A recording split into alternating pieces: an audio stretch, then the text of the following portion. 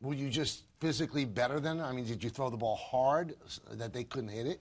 It was just fastball, fastball, fastball. No, I had a good curve. Yeah? So funny about that because you know I, I I try to compartmentalize my career from I'll start with high school and then the minor leagues and then the early part of my big leagues and then I get hurt, and I had like old time scouts that for professional teams would see me years later and it was after my shoulder surgery and they and they'd ask me they said what, what why don't you throw your curveball anymore, you know so how you evolve like I was fastball curveball in high school Right.